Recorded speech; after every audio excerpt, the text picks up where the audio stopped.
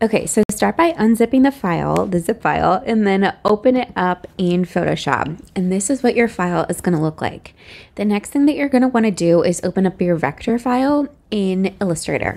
So a vector file, it could be an SVG file, an AI file, um, a PDF file, an EP EPS file. I happen to have a PDF file right here. And so I'm going to grab this element right here. I have it all set to be outlines and it's vector and I'm going to copy it and then come over to Photoshop and I'm going to double click this object right here and it's going to open it up in a new document. I'm going to turn off the bird. I'm going to paste in my file as a vector smart object. I'm going to make it bigger so it fills the space and the page a little bit better and I'm going to hit save and then when I close it, it's going to automatically pull it in over here. And then I can do a few things first. So I can play with the paper color by clicking on this and I could put in a hex code. Um, if I go back to this file right here, I have some codes in here. So maybe I'll grab this like green. So copy that code and go over to Photoshop and paste it in there and hit save. And then I have this pretty tan folder or and then I have this pretty tan image right here. I can also adjust the settings in this like file right here to adjust the intensity. So I'm going to open them up and kind of show you. So the first one that we can play with is this linear burn, which I'm going to turn it really up so you can kind of see where it goes. And it's kind of going to go, let me zoom in. It's going to go on the outside and we can kind of play with how intense it is. I think that this is one where it's kind of nice to leave it subtle, but if you notice your image is looking a little blurry, you could go up or down with that, and that might help a bit.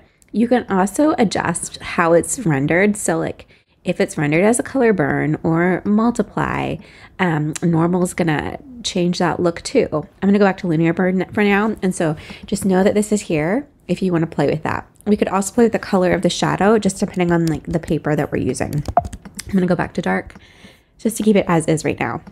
The next thing that we can adjust is this drop shadow right here. So this is nice. Let me get a different color to really show you. Uh, to play with if we want to make it a different color um, and have like a darker paper.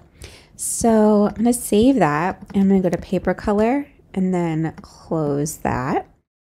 So if I come into color overlay, that's where I can really change the way that this looks. So I can click on linear burn and change it to be normal. And then you can see that it's going to pull in this tan color. And so it kind of looks like it's printed in tan, like within the embossing. I could lessen the opacity to make it look like it's a little bit more on that paper. And then I could change the color in here by adjusting the brightness. I could go red.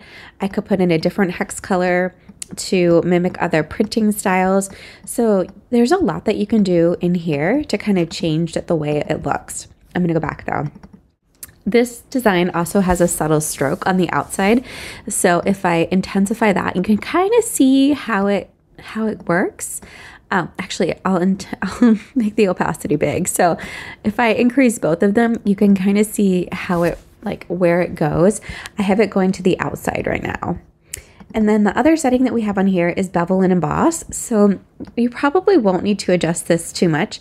Maybe if you have really thicker, like a thicker object or you're using something bigger, you might need to adjust the depth or some of the intensity of this. But um, if you're using something like a logo that's kind of delicate, you'll probably want to keep that pretty minimal. And that's how you use a file. So I hope this helps and I can't wait to see what you guys create.